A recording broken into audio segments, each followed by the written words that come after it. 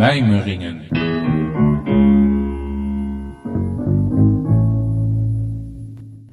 Met Hemelvaartsdag was het prachtig weer. Leuk om erop uit te trekken. Veel mensen hadden een lang weekend vrij. In 2020 zou dat anders moeten zijn. Vanwege de pandemie zijn plekken waar mensen samenkomen of gesloten of open voor een beperkte populatie. Waarbij ook nog eens rekening gehouden moet worden dat je anderhalve meter afstand houdt tot andere mensen. Behalve als ze tot hetzelfde huishouden behoren ofwel onder één dak wonen. En dat bedoel ik niet het dak van een flatgebouw. De regel lijkt simpel, maar je zou maar de boa zijn die dit moet zien te handhaven. Loop je in het park als boa en zie je vijf mensen bij elkaar, drie pubers en een man en een vrouw. Wil je een beetje handhaven, dan moet je op anderhalve meter met ze in gesprek. Wonen jullie samen in één huis? En dan antwoordt de groep ja.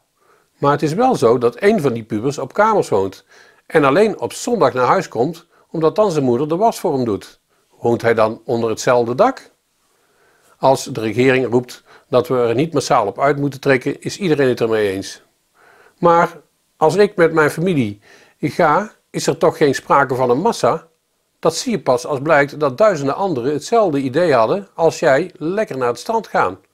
Dus de oproep is pure flauwekul. Wat wil men nu eigenlijk? De ziekenhuizen geven aan dat zo'n piek waarvan men nog flink moet bekomen, niet nog eens op korte termijn moet plaatsvinden. De hele sector gaat onderuit. Als we allemaal thuis opgesloten zitten en er is nog geen antivaccin, zal het wel erg lang duren voordat de bevolking een beetje immuun is voor de ziekte. De teugels laten vieren is toch een vorm van Russisch roulette. De inmiddels verketterde virologen vrezen opnieuw een uitbraak, die mogelijk nog groter zal zijn dan de eerste. De teugels laten vieren betekent dat je bewust mensen gaat blootstellen aan het virus. Dan weet je dus ook dat er mensen ziek worden, in een ziekenhuis belanden, wellicht op de IC terechtkomen en doodgaan. Als je dit wil voorkomen, zul je Nederland dicht moeten houden. Volgens psychologen en economen moet je dat niet doen.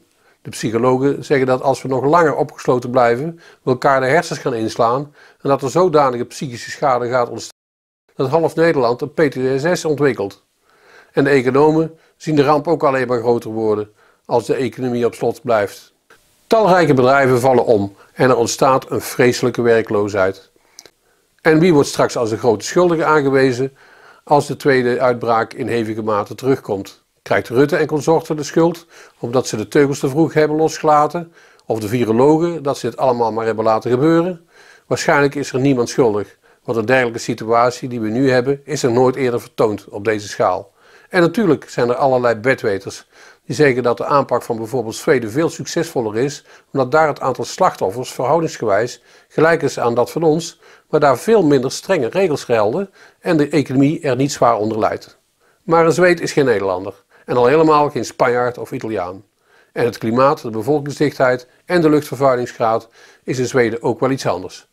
Dus één groot experiment en we doen wat voor de gemeenschap het beste lijkt. Rutte laat zich door wetenschappers adviseren.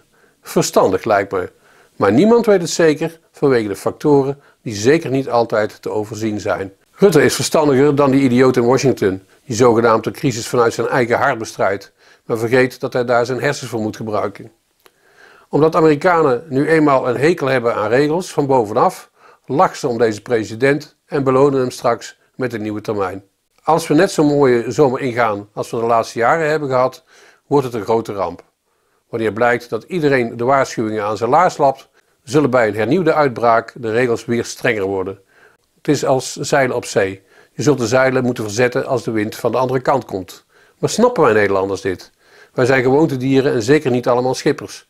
Omdat het onder het mom dat men niet meer weet waaraan men zich moet houden, gaan mensen zelf de regels maar naar eigen smaak en voorkeur interpreteren. Dan is er helemaal geen houden meer aan. Nou, we zullen zien waar het schip strandt.